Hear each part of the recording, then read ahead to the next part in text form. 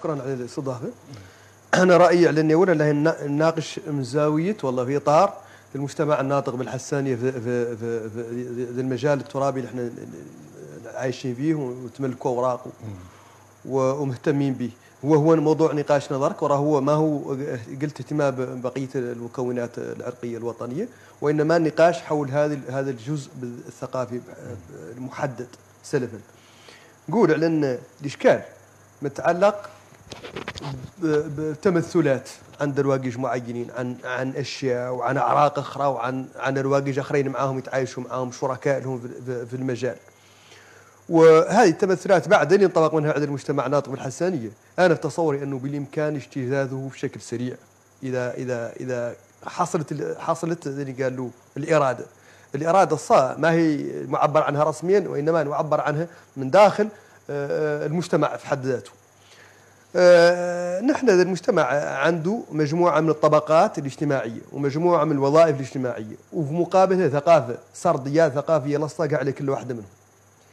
هذه انت تخرص هذا هو لك جايبينها من مجتمعات أخرى. ذيك المجتمعات فاتت ذبتت وقرأت وتسعد فيها وصعب ان توخذها غير هذا المجتمع اللي ناطق بالحسانية تشكل هو قاعد بحد ذاته ما تكتمل ما ما ياسر. معناها على إنه بالإمكان على إنه يراجع هو آه، بعد قاع نظامه الاجتماعي بالعجلة. ياك ياك يتخلص منه ويبني راسه على أسس سليمة صحيحة.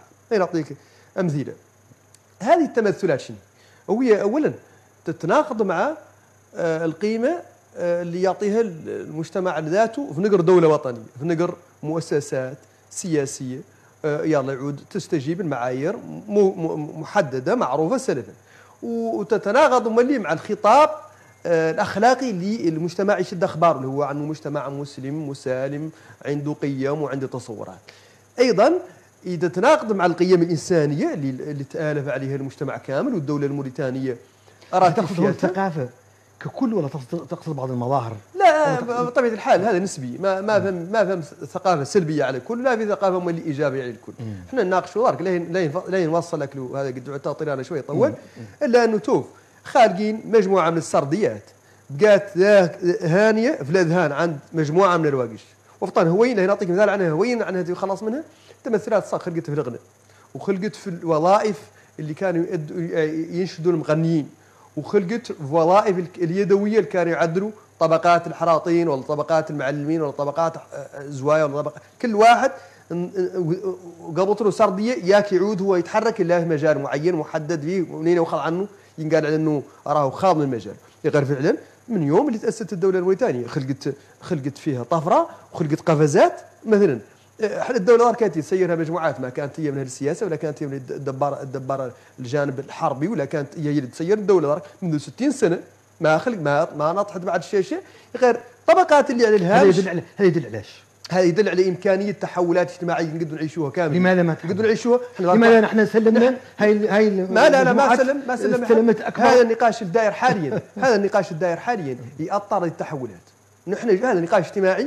نقاش بين مكونات المجتمع. شد أخبار كانت تحت يقدر كبر وعاد خالق يغير يغير خالق وبنتيجته صحيحة. معناها على اللي, نبقي نقول ونركز فيه. نقطتين أخيرات في ذا المجال. واحدة على أن يلتنفهم لود المشتركات. لأن نحن كشعب نقدر نتعايشوا لا على قيم المصالح المشتركة بيناتنا. لابد نحدوا عنا عندنا مصالح مشتركة بيناتنا قاعدين نتعايشوا عليها لابد نتعايشوا نفهموا عنا نقدروا نتفقوا في بريدة لا على قيم تحدد نحدوها إحنا رؤوسنا مدنية أنا المواطنة أنا اتفاقنا في اطار ماده متقادة ومساوية ومحققة لها الدولة العدالة في مكون بين مكوناتها. ثانيا نقدروا نتعايشوا إلا إذا عاد عندنا قيم مشتركة، قيم إحنا متفاهمين عليها لا نخطوها ونمشوا بها لقدام. أه هذا ما يخلق معناها على موارد الدولة اللي نحضروا فيها كامله لا يتوزع العد... لا يتوزع الثروة بعدالة وتتقاد فيها الناس. معناها عن الحظوظ الماليه لا يتقادوا فيها كاملين وتعود الناس تحضر ذاك اللي يخلق فيه. واضح. خالق خالق قبل ان الوقت نعرف نعرف نعرف. نهون. نقد نقول علن الخطاب الرسمي يعود متقدم كثيرا على الممارسات في الواقع. مثلا نتكلم عن الخطاب اللي قدم الرئيس في ودان هذا خطاب واضح عن ما يتعلق بالتصور النمطية وعن عن تمزز الجهات الرسمية من ذي الممارسات غير على أرض الواقع ما زلنا عايشين واضح. ممارسات دعنا ننتقل